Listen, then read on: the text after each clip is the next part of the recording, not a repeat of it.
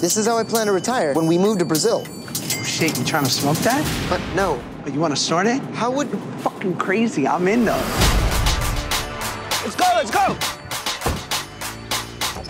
Well, I just sold this car, so let's take care of it. If you sell your car, how are we supposed to get to Rock the Bells today? I'm not going to a concert. We're going to the concert. Grow up. Two VIP takes 300. Would you pay me $300 if I perform sexual favors on your body?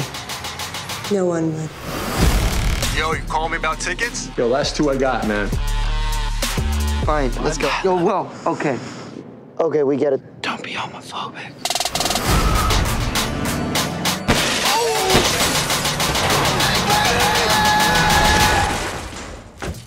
Happened, man? You know, I stole two tickets and some moon rocks from some guy on Craigslist. Are you gonna go to the concert later? Or? You hit on the drug dealer's girlfriend. I saw this in a movie once. What happened after? He gets killed by her boyfriend. Fingers crossed it works out better for you.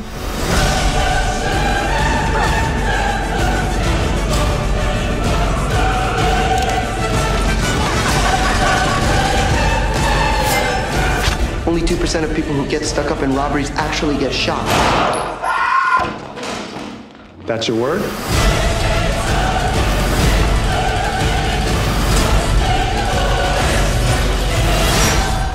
Brazilian is my favorite porn search word before drunk and amateur. Yeah, I don't know what it is about amateur, but I like it a lot. I, I think it's just more authentic. It's like if you're gonna sell me something, do it with integrity. 100%.